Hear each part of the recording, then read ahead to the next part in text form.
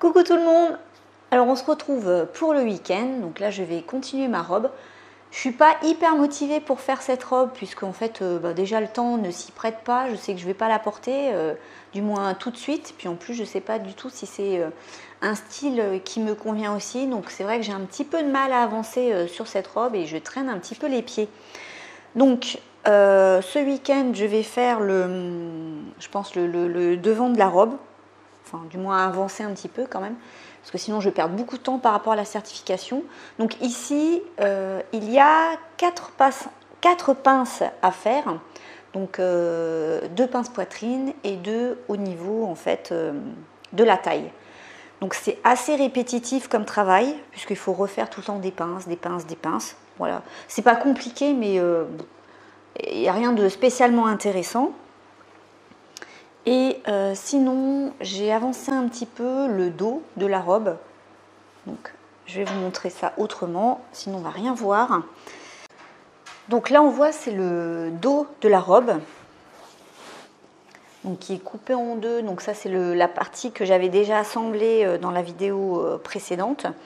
Et ici, ensuite, une fois que j'avais fait le haut, j'ai dû l'assembler au bas en faisant des fronces. Voilà.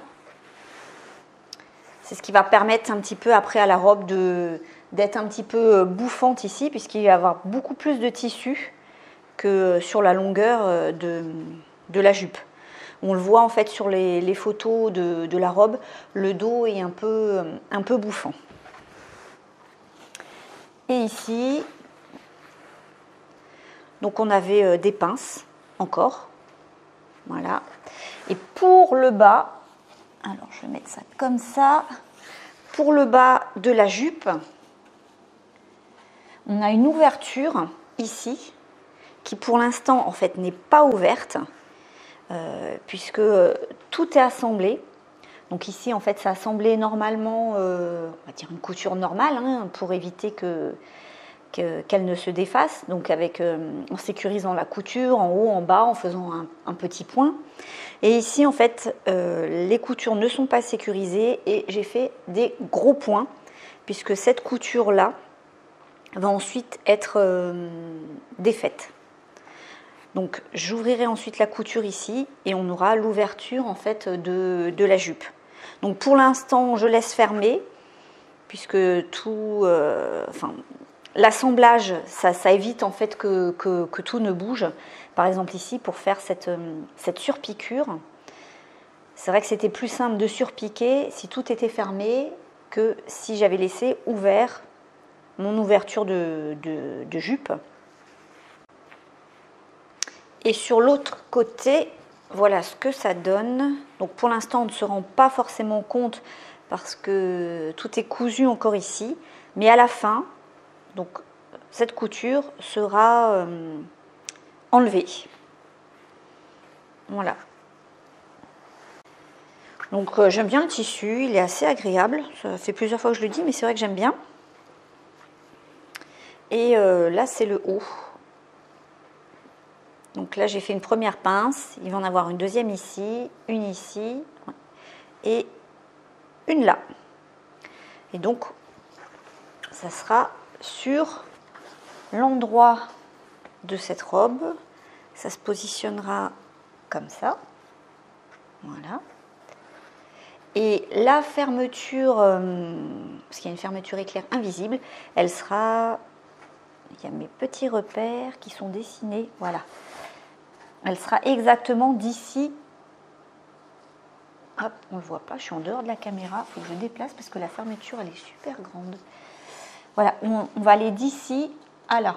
Donc tout ça, ça va être la fermeture éclair invisible. Voilà, qui est euh, quand même euh, super grande. Donc là, aujourd'hui, ben, je vais faire le haut de cette robe. Et puis, euh, et puis je verrai si j'en fais un petit peu plus ou pas. Alors j'ai perdu beaucoup de temps aussi à la recherche de mon pied presseur invisible que je l'avais rangé euh, pas à sa place. Je ne sais pas pourquoi d'ailleurs, comment il a atterri euh, à cet endroit. Et, euh, d'ailleurs, j'ai d'autres pieds bah, que j'ai toujours pas trouvé. Donc je ne sais pas ce que j'ai fait. En général, je range toujours les choses au même endroit. Et là, je ne sais pas. Enfin bon, donc déjà, ça m'a fait perdre du temps. J'ai horreur de ça, de, de, chercher mes affaires. Donc en général, je les mets là-dedans, enfin, sauf les, les gros pieds. Les gros pieds, enfin, à part celui-là, parce qu'on s'en sert assez souvent, c'est le pied euh, pour, euh, pour boutonnière. Mais sinon, les gros pieds, je les mets à part, mais les tout petits pieds, je les mets dedans. Mais je ne sais pas, il m'en manque. Mystère.